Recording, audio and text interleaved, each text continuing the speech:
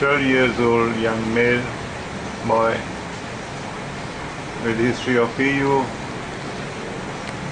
and uh, the pathology is that we see fluid in the hepatorenal angle. This is the liver, this is the kidney and here you see a thin rim of fluid between these two structures. Not only, not only there, as I move the probe downwards, I again see fluid and there are septas within it. Septi, here you are. Now this is the paracolic gutter, right side. See these thread-like linear structures are all septas and this is black area represents the fluid. These are the bubble gas shadows uh, seen in this case.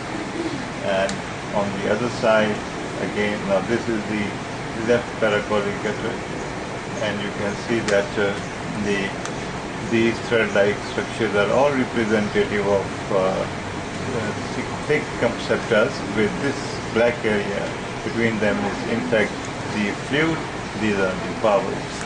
Now coming down in the pelvic region here you see, the movement of the, uh, septa. The septa is flapping this one and you can see dependent region debris. This is all debris. It's not as black as this ascitic fluid should have been. Uh, it should have been as black had there been no echoes. Now there are echoes.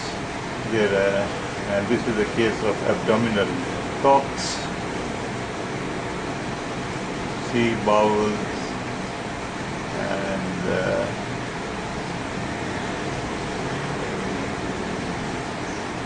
so this is a quick study of a case of intestinal Koch's showing ascitic fluid with septas, numerous septas. Thank you very much.